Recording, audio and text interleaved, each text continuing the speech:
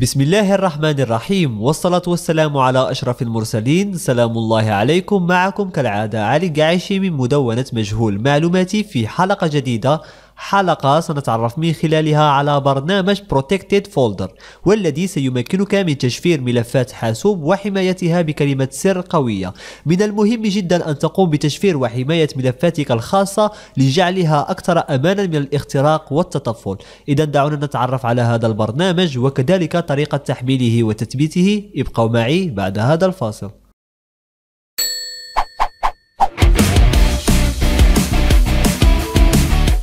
إذا كل ما عليك القيام به هو تحميل البرنامج من خلال الرابط الذي سوف تجده داخل التدوينة الخاصة بهذا الدرس وطبعا رابط التدوينة أسفل الفيديو في الوصف إذا كنت على موقع يوتيوب. مباشرة بعد الانتقال إلى هذه الصفحة يكفي فقط أن تقوم بالضغط على Download Now مباشرة بعد ذلك سوف تقوم بتحميل البرنامج على هذا الشكل. كل ما عليك القيام به الآن هو الضغط على هذا الملف مرتين ثم ستفتح معك نافذة كمسؤول تختار Oui مباشرة بعد ذلك سوف تظهر لك الواجهة التثبيت الخاصة بالبرنامج. ما عليك الآن سوى القيام بالضغط على Suivant؟ ثم أيضا Suivant. ثم تقوم بإزالة العلامة من هذا الخيار. ثم تضغط على Suivant. ثم سيبدأ في تثبيت البرنامج على حاسوبك. بعد انتهاء التثبيت سوف تظهر لك واجهة بهذا الشكل تقوم بالضغط على Skip ثم Terminer وهكذا سوف يشتغل معك البرنامج مباشرة وأيضا سوف تفتح معك نافذة في المتصفح. سوف يظهر لك كيف تستخدم هذا البرنامج وكيف تقوم بإدخال الرموز وكذلك تشغيل الإعدادات الخاصة بالبرنامج. ما عليك سوى تجاهل هذه النافذة ثم تتابع هذا الشرح.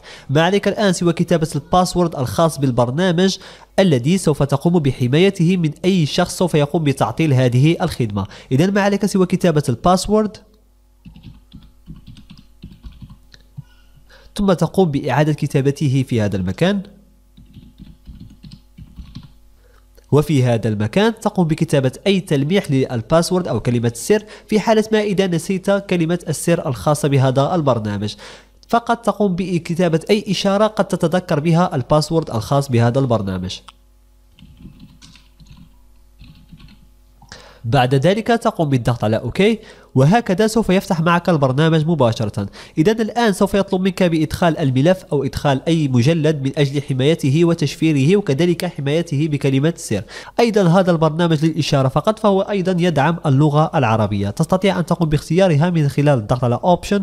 مباشرة بعد ذلك تقوم بالنزول إلى الخيار الأخير كما تشاهد ثم تضغط على English ثم تختار اللغة العربية من هذا المكان كما تشاهد. بعد ذلك تضغط على OK وهكذا سوف يتم تحويله إلى اللغة العربية.